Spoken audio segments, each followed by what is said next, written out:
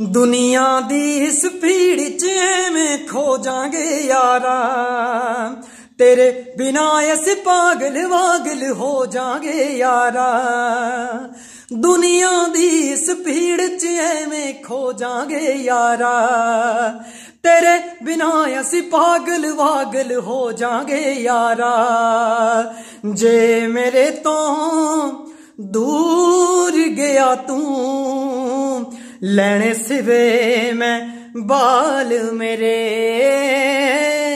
ਵੇ ਫਕੀਰਾ ਵੇ ਫਕੀਰਾ, ਮੈਨੂੰ ਲੈ ਜਾ ਤੂੰ ਨਾਲ ਤੇਰੇ।